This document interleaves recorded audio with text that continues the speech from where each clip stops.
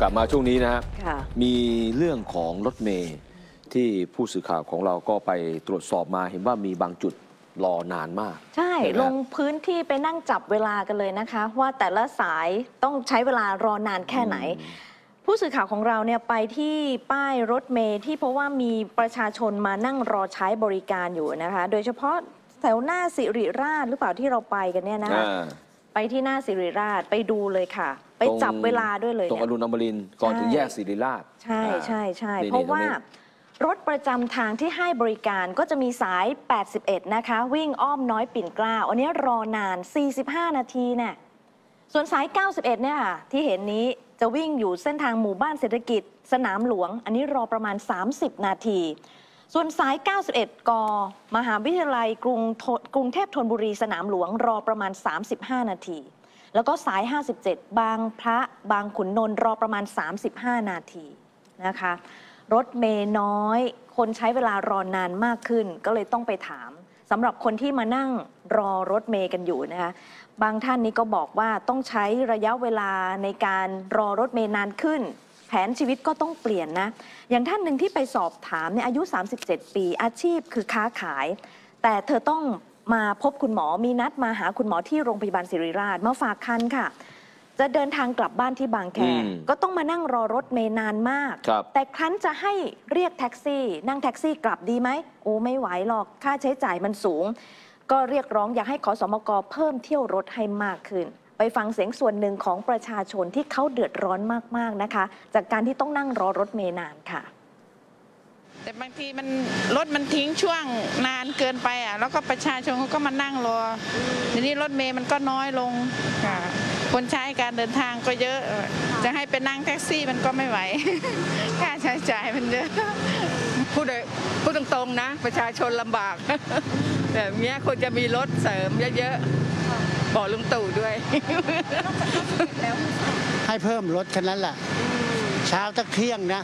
ตีตีสี่ครึ่งตักถึงตักสี่โมงเช้ากันนะหรือไม่ถึงเที่ยงเลยดีกว่าเพราะเพราะคนมันจะกลับจะมาช่วงเนี้ยรับยาประมาณห้าโมงนะบ่ายโมงแล้วห่างกันหน่อย ถึงทักสามโมงเย็นอย่างเงี้ยนะ จะเลิกวิ่งขอสมกควรจะรองรับก่อนว่า มีรถอะไรมาเสริมมาแทนใช่ไหมนักเรียนไปโรงเรียนเนี่ยต้องสองต่อผู้ปกครองลำบากเดี๋ยวมีแต่รถแอร์ครับรถแอร์เพิ่มภาระผู้ปกครองใช่ไหม แล้วตอนเย็นกลับบ้านเหมือนกัน ก็ไม่มีรถโอ้น่าเห็นใจมากนะคะนี่เป็นเสียงสะท้อนส่วนหนึ่งนะ อันนี้แค่จุดเดียวนะคะที่ที่ผู้สื่อข่าวของเราลงไปในพื้นที่ ไม่ใช่เฉพาะผู้หลักผู้ใหญ่ละเด็กนักเรียนก็เดือดร้อนกระทบถึงกระเป๋าของผู้ปกครอง รวมถึงคนที่มาที่โรงพยาบาลศิริราช ส่วนมากก็เป็นผู้สูงอายุหรือคนป่วยอยู่แล้ว แล้วอืมเขาต้องมานั่งรอรถเมล์ครันานบๆแบบนี้ เดือดร้อนมากนะคะ แล้วทางขอสมกแก้ไขปัญหายังไง บอกว่าขอเวลา 15 วันดำเนินการ แต่เขาดำเนินการมาแล้ว 9 วันนะอืมผลเป็นที่น่าพอใจ คือเขามีการไปเกลี่ยรถเกลี่ย เส้นทางไหนที่ผู้โดยสารใช้บริการน้อย หรือช่วงเวลาไหนที่ผู้โดยสารไม่เยอะเขาก็เกลี่ยปรับช่วงเวลาในการให้บริการ เพื่อให้สอดคล้องกับความต้องการขอสมกยอมรับนะ จะเป็นการปรับแผนแบบวันต่อวันค่ะ เพื่อแก้ปัญหารถขาดระยะ นะคะส่วนเรื่องที่ได้รับการร้องเรียนมานอกจากจะรถเมย์ให้บริการน้อยแล้วเนี่ยพันหนึ่งพันเจ็ดร้อยสิบสามรายเขาร้องเรียนเข้ามาเป็นเรื่องของความสะอาดครับไฟส่องสว่างและจุดที่พักไม่จุดไม่มีจุดพักคอยสำหรับผู้โดยสารให้นั่งรอนะคะซึ่งบางเรื่องเนี่ยขอสมกส่งเรื่องประสานไปยังกทมเรียบร้อยแล้วนะรถเมย์น้อยก็คอยนานเขาบอกขอเวลาหน่อยในกรอบ 15 วันจะพยายามจัดการให้แล้วเสร็จ อืมนี่นะนี่กทมนะครับค่ะท่านผู้ชมฮะไม่ทราบว่าท่านผู้ชมที่ชมเราอยู่ณตอนนี้เนี่ยอยู่ในพื้นที่ไหนนะฮะแล้วก็มีฝนตกลงมามากน้อยแค่ไหนนะฮะลองบอกกล่าวกันสักนิดนึงก็ได้นะค่ะ เพราะว่าตอนนี้ ตอนนี้แถวออฟฟิศเราอยู่ตรงบางพลี บางพลีบางนาบางพลี ฝนตกหนักมากนะฮะค่ะ ปรากฏว่าฝนตกหนักมากค่ะเนี่ยได้ยินเสียงเข้ามาในนี้เลย ค่ะ เสียงสู้สู้ๆเลยนะถ้าอยู่อืมแถวไหนเอ่อมีฝนตกลงมามากน้อยแค่ไหนลองรายงานเข้ามากันค่ะดูนี่ไงนะครับพี่ต้นวรเทพบอกว่าอยู่ที่พระรามสามฝนตกหนัก แบบไม่ลืมหูลืมตาเหมือนกันนะ อืมรายงานเข้ามาแบบเรียลไทม์เหมือนกันเออ ไม่หลับไม่นอนนะ ต้นบรเทพ ยังไม่เข้าบ้าน ยังไม่เข้าบ้าน นี่ท่านผู้ชมครับไหนๆพูดถึงเรื่องของกทม วันนี้ผู้ว่ากทมคุณชัชชาติสิทธิพันธุ์ได้มีการลงนามในประกาศของกรุงเทพมหานคร เรื่องจัดให้มีสถานที่เพื่อใช้สำหรับการชุมนุมสาธารณะนี่นะฮะที่สุดแล้วก็มาแล้วนะครับ ก็เนื้อหาใจความก็คือ สมควรกำหนดสถานที่เพื่อใช้สำหรับการจัดชุมนุมสาธารณะให้ชัดเจน เพื่อให้การชุมนุมเป็นไปด้วยความสงบเรียบร้อย ไม่กระทบกระเทือนต่อความมั่นคงของชาตินะฮะนี่นะครับสำหรับสถานที่เพื่อใช้สำหรับการจัดการชุมนุมนะฮะก็มีกำหนดเอาไว้ทั้งสิ้น 7 สถานที่ด้วยกัน 1. ลานคนเมือง เขตพระนคร 2. ศูนย์เยาวชนกรุงเทพมหานครก็คือไทยญี่ปุ่นดินแดงนะครับ 3. ที่สาธารณะใต้สะพานรัชวิภา ใกล้กับซอยวิภาวดีรังสิต 36 เขตจตุจักรนะครับ 4. ลานจอดรถหน้าสำนักงานเขตพระโขนง 5. ศูนย์กีฬาเฉลิมพระเกียรติ 72พรรษาเขตมีนบุรี 6. ศูนย์กีฬาเฉลิมพระเกียรติเขตทุ่งครุ 7. สวนมณฑลพิรมเขตตลิ่งชัน ลักษณะขนาดพื้นที่นะฮะและความสามารถในการรองรับผู้เข้าร่วมชุมนุมตามข้อ1-7มีรายละเอียดเขาเขาก็ว่าไปนะฮะค่ะอะเดี๋ยวฟังเสียงของคุณชาติชาติสักนิดหนึ่งที่พูดถึงเรื่องนี้นะครับ อ่าวันนี้ก็เป็นวันประวัติศาสตร์นะประวัติศาสตร์ตรงที่เป็นครั้งแรกแบบเป็นครั้งแรกที่กทมประกาศพื้นที่ชุมนุมสาธารณะนะครับซึ่งเราก็ประกาศวันที่ 24มิถุนาเลย แล้วก็เป็นสัญลักษณ์ว่าเป็นครั้งแรกของกทมแต่ว่าไม่ใช่ครั้งแรกของประเทศไทยนะบุรีรัมย์ประกาศไว้ตั้งแต่ปี 63 แล้วก็ประกาศ 23 ที่นะครับนั้นเรื่องธรรมดานะครับแต่ว่าเป็นสิทธิขั้นพื้นฐานอะที่ ประชาชนควรจะมีพื้นที่ที่ปลอดภัยที่เราสามารถมาแสดงความเห็นได้ แต่ก็ต้องเรียนว่าเราจัดไว้ 7 จุด และตามกรุงเทพ6โซนแล้วก็มีเพิ่มอีกอันในตรงดินแดงนะแต่ว่าเนื่องจากว่ามันจะมีข้อจำกัดเรื่องพื้นที่เนี่ยทั้งทั้ง7จุดเนี่ยจะมีลานคนเมืองมีดินแดงรายละเอียดผมจำไม่ได้นะว่ามันมีก็จะมีกำหนดว่าพื้นที่กี่ตารางเมตรและประมาณคนเนี่ยได้เท่าไหร่แล้วก็ขอให้ช่วยดูแลด้วยอย่าให้แออัดมากเกินไปเพราะว่าถึงแม้เราก็พอจะให้ถอดหน้ากากเป็นทางเลือกโลกแย่ได้แล้วระยะห่างก็ควรจะประมาณ1เมตร1เมตรก็คือเอามือแตะไม่ได้นะครับถ้าเราไปชุมนุมกันจะให้หนาแน่นมาก เราคำนวณแล้วหนึ่งคนก็ประมาณสามตารางเมตรถ้าอย่างรายคนเมืองสามพันตารางเมตรก็ได้ประมาณพันคน ก็ประมาณนี้ครับถ้าเกิดแน่นมากผมว่าคนที่มาทีหลังก็อาจจะไปดูไลฟ์ไปหาร้านกาแฟนั่งดูไลฟ์ไปก่อน แล้วก็ผมเพียงไปช่วยดูแลด้วย แล้วก็ผมว่าพิจารว่า มาชุมนุมเนี่ยเราหวังว่าจะเป็นพื้นที่สร้างสรรค์ที่มาแลกเปลี่ยนความเห็นกันนะและเรื่องความรุนแรงทั้งหลายเนี่ยต้องไม่มีเลยครับในแง่ที่ว่าต้องไม่มีอาวุธแล้วก็จะมีเครื่องตรวจอาวุธก่อนเข้าเพื่อให้คนที่มาเนี่ยรู้สึกมั่นใจสบายใจ และการดำเนินการต่างๆ ก็ต้องเป็นไปตามกฎหมายทุกข้อที่กำหนด เพราะว่าการจัดพื้นที่ชุมนุมเนี่ยไม่ได้ยกเว้นกฎหมายข้อใดให้เลยนะยกเว้นข้อเดียวคือเอ่อมาตราที่ไม่ต้องไปขอตำรวจก็ขออนุญาตกรมก็จะทำ ห้องน้ำเราปลอดภัยแสงสว่างให้แล้วอย่างที่เรามกำเนิดก็เปิดห้องน้ำให้ที่ห้องน้ำสาธารณะได้แล้วก็มาตรการเหล่านี้ก็คงเป็นทดลองก่อนหนึ่งเดือนคือจริงแล้วเราก็ไม่เคยทำมาก่อนถ้าพูดตรงนะ เพราะเราก็ไม่เคยทำประกาศแบบนี้มาก่อนเราไม่รู้ว่าผลลัพธ์สุดท้ายแล้วมันจะเป็นประโยชน์กับประชาชนส่วนใหญ่ไหมก็ต้องเรียนเลยว่าขอหนึ่งเดือน ถ้าทำได้ดีเป็นประโยชน์ประชาชนเป็นพื้นที่ที่สร้างสรรค์แสดงความเห็นอย่างเอ่อมีประโยชน์ ไม่ได้มีความรุนแรงที่เราควบคุมไม่ได้ ไม่ได้เป็นการยุเอ่อโยงหรือว่ามีการปลุกเล้าความโกรธความเกลียดเนี่ยผมว่าเราไปต่อได้เนี่ยคุณชัดชาติเนี่ยบอกแบบนี้นะท่านผู้ชมฮะเดี๋ยวผมสรุปเอ่อคุณชัดชาติเนี่ยบอกว่า ก็เป็นครั้งแรกที่กทมประกาศพื้นที่ชุมนุม เป็นสิทธิขั้นพื้นฐานเพื่อให้เกิดความปลอดภัย มีการกำหนดคนไม่ให้แออัดมากเกินไปกำหนดพื้นที่หนึ่งคนต่อ 3 ตารางเมตร และไม่อยากให้เกินเวลา4ี่ทุ่ม การชุมนุมการมาชุมนุมให้เป็นสิ่งสร้างสรรค์ไม่ให้เกิดความรุนแรง โดยทดลองก่อน 1 เดือนนะฮะมีนักข่าวถามว่า เป็นการย้อนแย้งหรือไม่ เพราะตอนนี้ยังอยู่ภายใต้พรกฉุกเฉินอืมคุณชัชชาติบอกว่าเป็นการ intro เป็นการ intro สู่การยกเลิกพรกฉุกเฉินอ๋อเขาบอกขอเวลาหนึ่งเดือนไงเป็นการ intro สู่การยกเลิกพรกฉุกเฉินค่ะประชาชนสร้างความไว้ใจ แสดงความเห็นได้ เหมือนงานดนตรีในสวนที่คนมาเยอะ ฉะนั้นอย่าไปกังวล มันคนละอย่างกันฮะ งานดนตรีในสวนกับการชุมนุมทางการเมืองเนี่ย มัน มันคนละเรื่อง บริบทคนละบรรยากาศใช่ นะงานดนตรีในสวนเนี่ยมันเข้าเข้าไปฟังเพลงทุกคนมาด้วยอารมณ์ผ่อนคลาย ใช่ แต่คนที่มาชุมนุมเนี่ยเขาไม่ได้มาด้วยอารมณ์ผ่อนคลายนะฮะเขามาแบบมีวัตถุประสงค์ แล้วอารมณ์เขาเนี่ยมันคุกรุ่น ยิ่งอยู่นานยิ่งฮึกเหิมยิ่งคุกรุ่น มันคนละเรื่องกับดนตรีในสวน ถูกไหมฮะเอาค่ะต่อมานะฮะคุณชัดชาติบอกว่าเอ่อส่วนกลุ่มทะลุแก๊สนั้น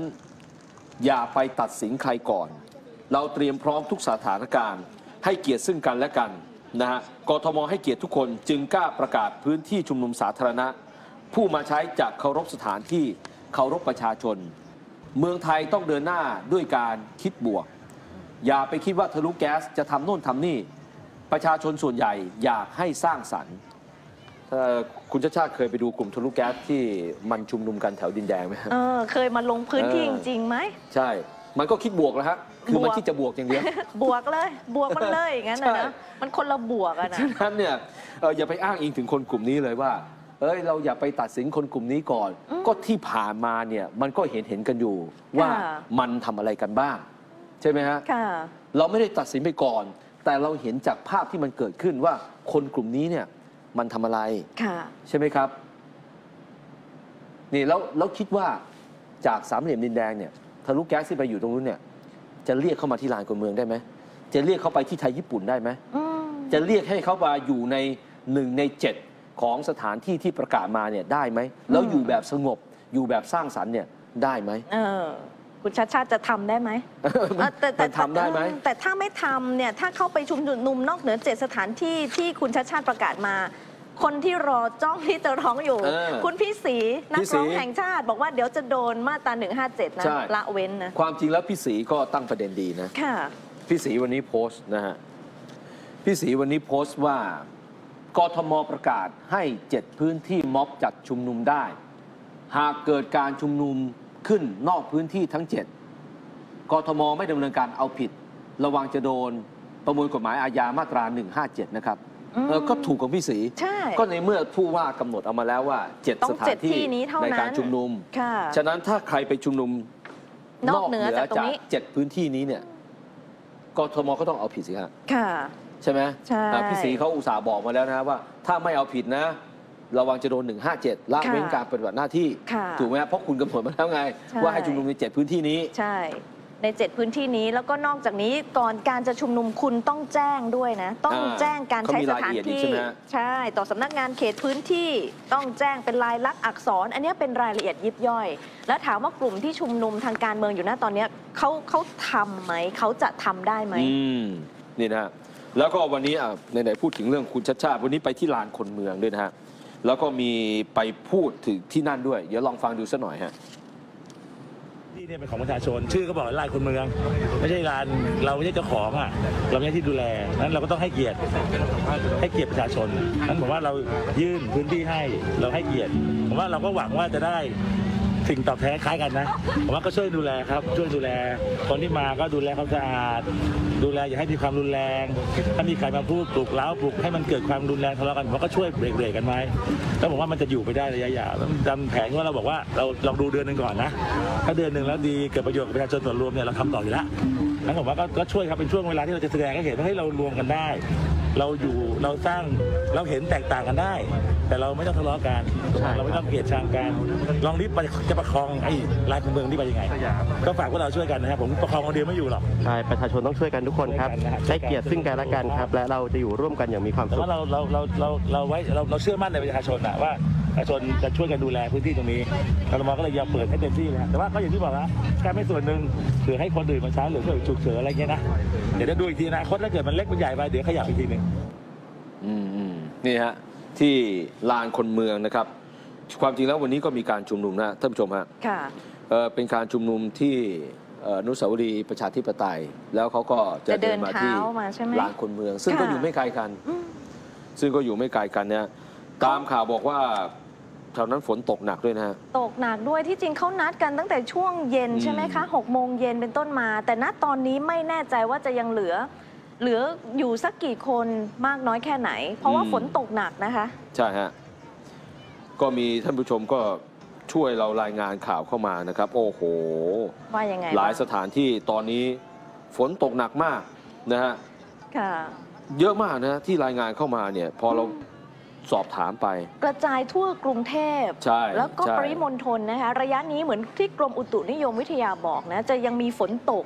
กระจายกันอยู่ แล้วก็ตกหนักด้วยนะคะ ใช่ครับ ตรวจเช็คสภาพรถสภาพความพร้อม ลานคนเมืองแจ้งเข้ามาว่ามีฝนตกหนักเหมือนกันอืมนะคะร้านคนเมืองตอนนี้ก็มีฝนตกหนักนะครับ แถวสาทรก็มีนะครับ ราชเอ่อราชพฤกษ์นนทบุรีฝนก็ตกหนักนะฮะค่ะ อันนี้ภาพจากไหนฮะในเพจของ สำนักข่าวราษฎรนิวส์ของเขาอ่าเลยเรียนกิจกรรม วันนี้เข้ามาเขาทำอะไรอะคะมาทำอะไรอะอ๋อไม่รู้ผมไม่สนใจอะคือมาเล่นดนตรีกลางสายฝนอย่างนี้เหรอผมผมไม่รู้ผมไม่ค่อยสนใจครับนี่เขาก็เนี่ยฮะแล้วเราก็จะเห็นฝนตก อืมอะเขาก็ไม่มันก็มาเล่นดนตรีกลางสายฝนไงเออมาเรียกร้องอะไรนี่นะฮะเอาละต่อไปนี้ก็เป็นนั้นว่าเรามี สถานที่สำหรับการชุมนุมค่ะเจ็ดสถานที่แล้วนะค่ะผู้ว่ากทมลงนามประในกาศประกาศออกมาแล้วนี้เอาไว้เรียบร้อยแล้วนะครับ หรือว่าจะเพิ่มอีกที่หนึ่งได้ไหมที่ไหนกองทัพไง ปิ๊งไอเดียนี่ไง ที่บอกว่าใครที่เห็นต่าง เข้ามาพูดคุยกันในค่ายทหารได้นะเขาเขาคงไปนะ ก็นี่โฆษกของกลาโหม เปิดเผยเองมีแนวคิดบอกว่ามีแนวคิดไงบอกว่าจะเปิดพื้นที่ให้สำหรับคนที่เห็นต่างเข้ามาเพื่อพูดคุยกันเออพลเอกคงชีพตันตระวานิชโฆษกกระทรวงกลาโหมนะคะบอกว่าเราอยากจะเปิดพื้นที่ เพราะปัญหาทุกอย่างจะจบได้ถ้าเราพูดคุยกัน และทำความเข้าใจกันได้อืมเข้าไปคุยถึงที่เปิดบ้านให้เลย เมื่อก่อนเขาก็ไปนะฮะแต่เขาอยู่ข้างหน้า อยู่อันนั้นไม่ได้ไปคุยอะเมื่อสิก่อนเขาไปเออ เขาตั้งเวทีอยู่ข้างหน้าด้วยนะ ค่ะ แต่ครั้งนี้บอกว่าโอเค เดี๋ยวจะเปิดต้อนรับให้เลย ยินดีให้เข้ามาพูดคุยกัน เออ เขาพูดคุยนะ แต่ถ้าเขาไปทำอย่างอื่นมันจะคุยกันรู้เรื่องแล้วฮะ เออ นี่เอาแล้วท่านผู้ชมครับ ก็เดี๋ยวเราพักฟังสิ่งดี ๆ จากคุณทรายศิษศยาสักครู่หนึ่งค่ะ นะฮะ